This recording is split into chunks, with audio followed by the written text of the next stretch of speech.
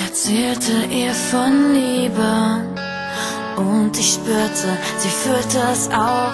Ich konnte nicht ohne sie leben, machte von ihren Küssen oft Gebrauch.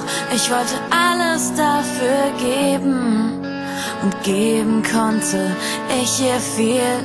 Ich liebte sie echt ohne Ende, doch für sie war's nur ein Spiel.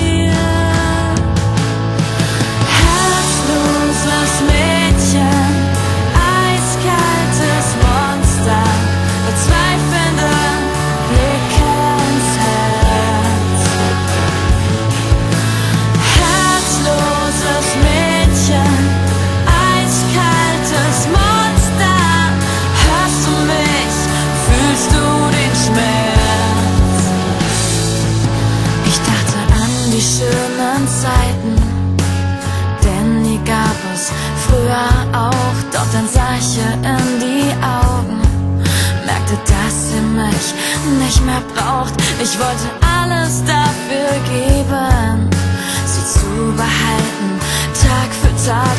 Doch ich konnte dabei zusehen, wie ihre Liebe zu mir